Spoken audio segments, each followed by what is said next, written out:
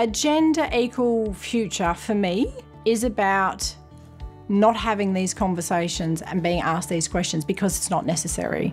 If women are thinking about a job like mine, I reckon go for it. You never know what you're going to like unless you try it out. I never thought I'd end up in compliance, but I'm enjoying the challenge.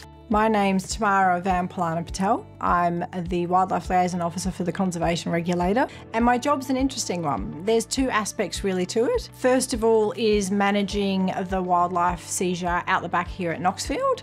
The other aspect of my job is writing policies and procedures for managing any wildlife that comes to the department. My name is Teisha Lay. I'm a Forest and Wildlife Officer for the Conservation Regulator. We enforce laws that protect public land environments and their wildlife. My daughters encourage me to share my story today. They love seeing me in my compliance uniform and hearing about what I do for work.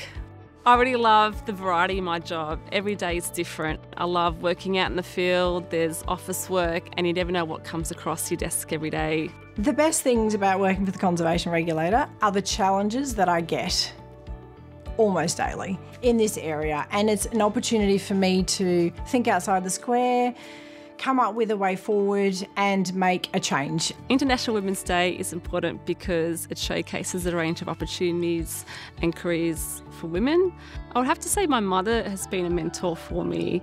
She encourages me to, I guess, try my best and push myself. I've definitely had a mentor um, and it's, it was brilliant. And I've also been a mentor as well. And I must say, I've really enjoyed being a mentor because you can give back as well. Like you've come in this point of your career where you're older, you understand it better, you've got experience, and then you can share that with someone who's new and starting.